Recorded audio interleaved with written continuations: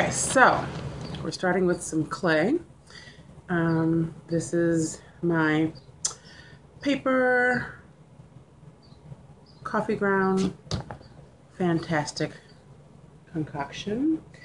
Um, oh, I'm going to roll it out using a multi-purpose rolling pin that I have. Bam. See that it's been used for a paper or a painting project I also did. So dual purposes with the uh, roller.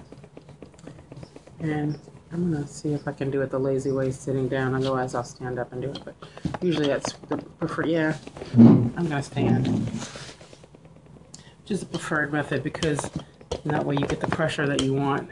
Okay, this table is really wobbly, so the camera's gonna wobble with it.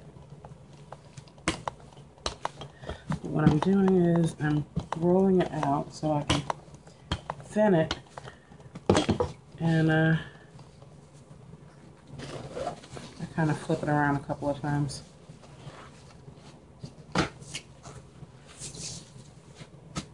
Until I get it to the desired thickness I want. And then we'll go to step two, which is I'm going to mold it over a mold instead of pressing it inside.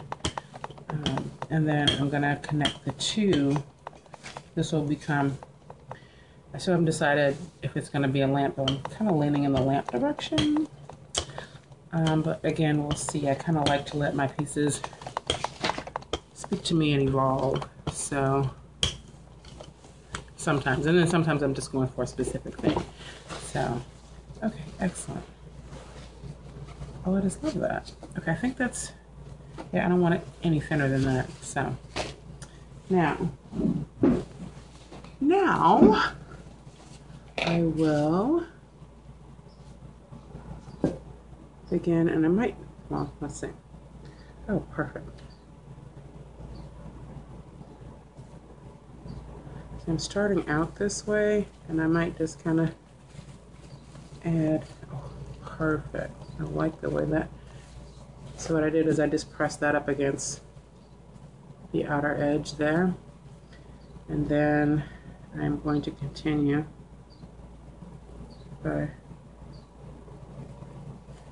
pressing this along the outer edge.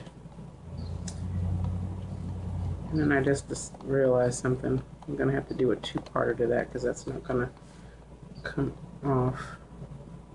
Well, we'll see. Yeah, I'm thinking that's what I'm going to have to do. Anyway, so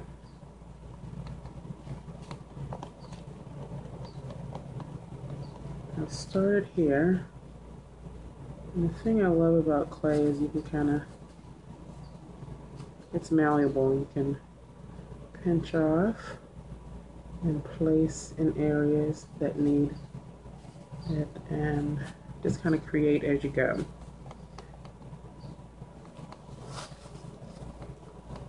And me being very tactile and, and it's really weird.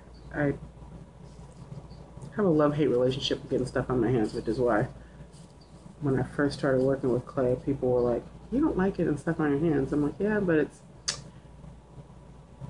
weird. I'm okay with this. So anyway, so here we are. So this is the beginning of that. And I covered my other piece to that this is going to be attached to. I'm just keeping it kind of, in fact, I might want to split it. I'll do that since I'm unwrapping it here. Yeah, because that's getting a little, a little dry. So I get my handy dandy water bottle and spritz it up a little bit to moisten it. I don't need to do it too much though. I don't want to go get too wet.